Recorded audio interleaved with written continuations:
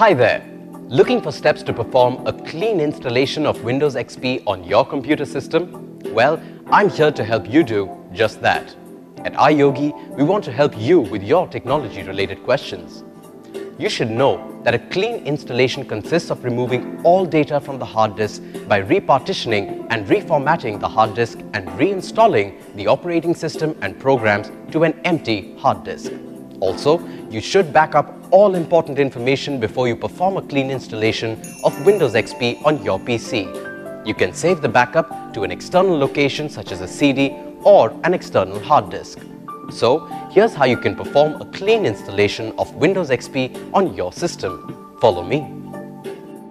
Insert the Windows XP CD into your CD drive or DVD drive and then restart your computer.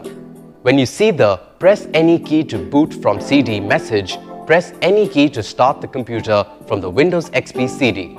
At the Welcome to Setup screen, press Enter to start Windows XP setup.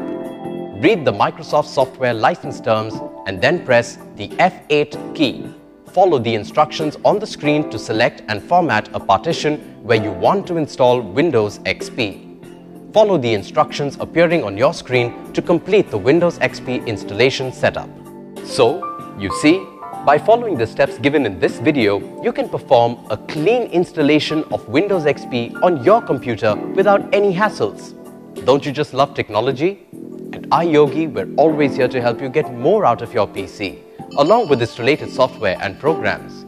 If you have questions on antivirus, security, protection, or on how to work your other devices with your PC, such as syncing your printer, MP3 player, camera or router, etc., just give us a call.